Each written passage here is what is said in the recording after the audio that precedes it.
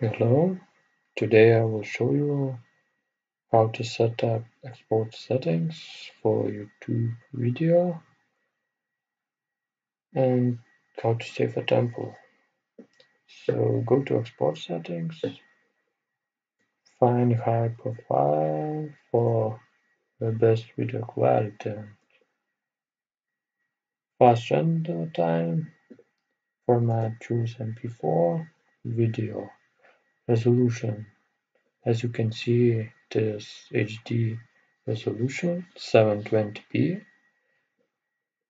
it is pretty good for YouTube but if you want 1080p type 1920 by 1080 it is 1080p resolution frame per second type 60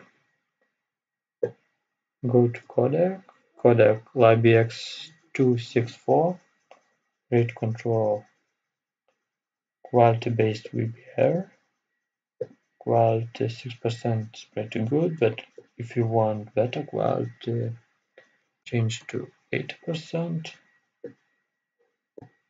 uh, then the video will be finished. You you will see here.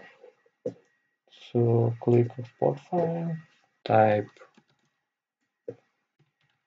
video name save. If you want to save temple click plus button type name 1080p YouTube. All info you, you could see here. Click OK.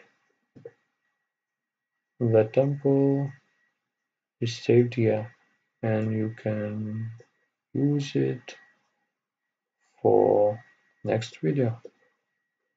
Thanks for watching. Subscribe. Subscribe channel for more video